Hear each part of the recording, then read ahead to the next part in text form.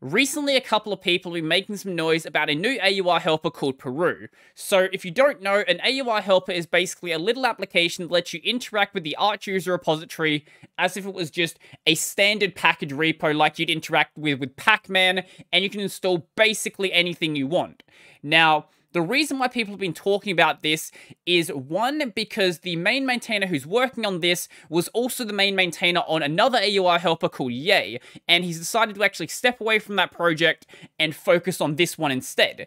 The second reason is because there's a couple of people who for some reason just don't know how to read a Reddit post and seem to think that Yay is not going to be maintained anymore. So Yay is still going to be maintained, it still has a maintainer, However, if the guy who's working on Paru was the guy who was working on most of the features in Yay, so Yay is going to have less features being worked on for it. But Yay is still a really popular application on Arch Linux, so I can't imagine that people are just going to suddenly stop using it and no one's going to be working on new features. So what this basically is at its absolute core is a Rust rewrite of Yay. Now, I wouldn't be talking about it if it was just a boring Rust rewrite. There's plenty of those out there.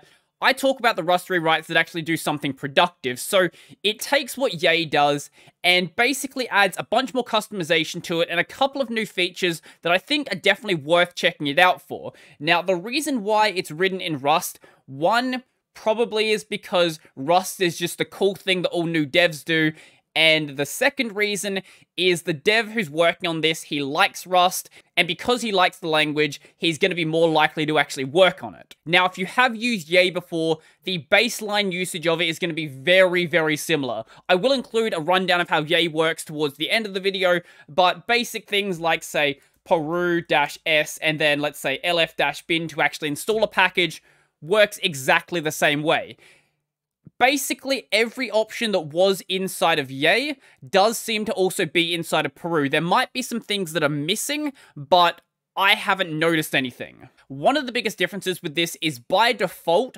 when you try to actually install a new package, before it lets you go and install it, it's going to prompt you to actually look at the package build because when you install something from the AUR, it's not really audited. It's audited by the people who decide to comment, but there's a ton of things on the AUR which nobody has ever looked at. So there might be things that are malware on there. There might be other things you probably don't want to install. So what you should always do is review the package build before you install it. So if we go and press yes, that's going to then try to download that, give it a second to do that, and then it goes and basically prints it out with BAT. Now, if you don't want to use BAT, you can go and change it to use something like CAT instead, but I do have BAT installed, so as we can see, this seems to do what I would expect it to do, and then from here we can go and install stuff like we normally would with Yay. Now, this bit can be done with Yay, however, by default, it's not actually configured to show you the review. So let's go and do the same thing over in Yay and see what it actually does. So yay-s lf-bin, and as we're going to see, give it one second. I guess my internet's just being a bit slow today. It's going to prompt us to do a clean build. It's going to prompt us to do a diff, and then it's just going to go and download everything and then prompt us to actually install it without actually showing us the package build. Now, one thing that Yay doesn't let you do is audit the files besides the package build. So some AUR packages have extra build scripts, maybe it's like a Python or a Perl script, and you probably should look at that before you actually go and install the package. So you can go and edit the package build inside of Yay by doing yay-s, install what you want to install, dash dash edit menu, but inside of Paru, we don't have the edit menu option. What we can do instead is Paru dash S lf dash bin and then dash dash fm for file manager. And let's say I want to open it up in something like lf. And this is going to open it up inside my terminal file manager. Just give it a second to go and download that. I think I'll just cut to when it's done actually. Now, if we go and review here, what it's going to do is open up the entire repo inside of my file manager. So I can go and look at every single file that's being downloaded with this repo and let's say that maybe it's not malicious. Let's say there might be a bug in the build script. From here, what we can go and do is go, say, into the package build, and then actually make a modification to this, go and save it. So let's go and save this now, and then quit out of this, And then what it's going to do is ask you to proceed with the installation. We press yes, it's going to do everything like we normally would expect it to. Now, it doesn't necessarily have to be an actual file manager. So if you have, say, a version of Vim or NeoVim that comes with a file manager plugin, we can go and use that as well. So let's go and run this. Now it's just using the file manager built into NeoVim. Everything works in the exact same way as it normally would, and you can go from here. Now, one of the differences I don't particularly like is when you go and do things like an update. So let's go and quit out of this. Inside of Yay, if I do Yay dash capital S U A, which is going to go and prompt me to update all my AUR packages, this will let us decide exactly which ones we want to update. In the case of Paru, though, it doesn't actually show you that by default. So dash SUA, give it one second, and as we're going to see, it's going to try to review everything and then install everything at once. So what you have to do to go and fix that is include the dash dash upgrade menu option, and this will show you the exact same thing, so give it one second.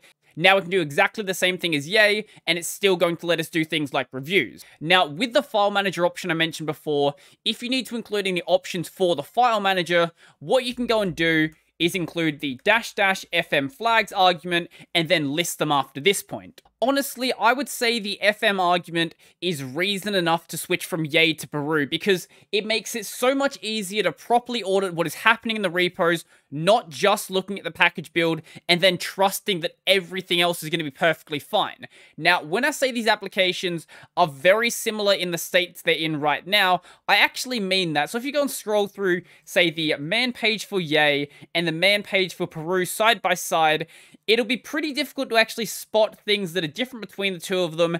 Really, the only easy ones to notice are the FM arguments and the bat-related arguments. Most of the stuff, though, is exactly the same, so it's not like you're going to be losing features by moving from Paru to Yay, because Paru is in version, I think, 1.1, and I presume that version 1.0 was feature parity with Yay. Now, when it comes to configuring Paru, it's done in a very straightforward way, and all of the documentation isn't in this man page, it's going to be in manparu.conf which are going to explain basically every single one of the options and also where the default configuration file is located and where you should store yours as well. So mine is going to be stored in this path right here. So dot .config slash paru slash paru.conf. So let's go to that point. So paru and then paru.conf.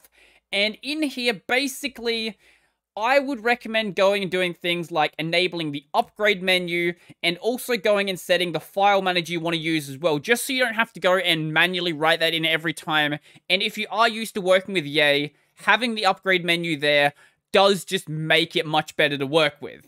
Another thing you may want to enable is the news on upgrade, which as the name would suggest, tries to show you things like the update log and things that have actually changed with the software so you can actually say, okay, do I want to update now or do I want to wait till like a later update? Basically, it just gives you more information about what you're actually installing. Besides that, I'd recommend just including the things that you always have options for. So if you say always want it to be sorted in a certain order, or you always have, say, the build files being cleaned down, things like that, just go and include it in this config file, and it will just make things a little bit easier. Before we end off the video, let's just do a basic rundown of how to use Paru if you've never used Yay before. So I went over how to do things like, say, Paru SUA to actually upgrade all of your AUR packages, but when you use Paru, it is a full wrapper around Pacman, so anything that can't be passed to Paru is going to be passed to Pacman instead. So if you want to do things like, say, upgrade all your regular packages or query your regular packages, things like that, then that will also be done with Pacman. We can go and check what AUR updates we have available without actually installing them by doing the Paru-capital Q for query, U for update, and A for AUR. Give that a second to go and download those. And there we go. If we want to go and download the package repo without actually installing it, what we can do is Paru-capital G for get, I'm going to say. And let's say we want to do something like download lf-bin. And that's going to go and try to download that without actually installing it. And give that one second. And if we go into here, I should have an lf-bin in here. I don't know why I just didn't search for that, lf-bin, and there we go. If we want to go and print the package build, what we can do is capital G and then P, and this is going to try to print it out with BAT, as we can see here. And then if you want to print out the comments on the AUR page, what you can do is instead of using the P option here, we can use the C option. And let's go just do it on the regular LF page. And as we're going to see in just a moment, these are all the comments related to that package. So if you're happy with Yay and you don't really care about new features being added or I don't know, you just don't use an AUR helper and you just do everything manually, there's nothing I can really say to get you to actually switch to Paru, but if you just want basically Yay, but it's going to be maintained by the main guy and you get new things added to it, just switch over to it. There's no harm in doing it. You can install it from the AUR, so just install it with Yay and then just go and use Paru to uninstall Yay. So I think that's going to be pretty much everything for this. As always, there'll be links to everything related to the software down below, so if you want to go and install it. There'll be a link to the AUR package down there, as well as the Git repo. And if you want to go and say submit issues about it or work on the code base, feel free to go and do that. There'll be all the links you need in the description. So I think that's pretty much everything for me. And before I go, I would like to thank my supporters. So a special thank you to Chris, Joachim, Donald, Michael, Andre, Nathan,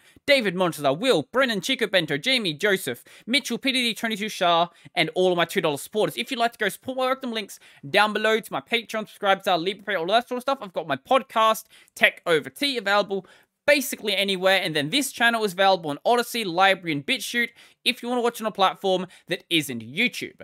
So I think that's pretty much everything for me, and I'm out.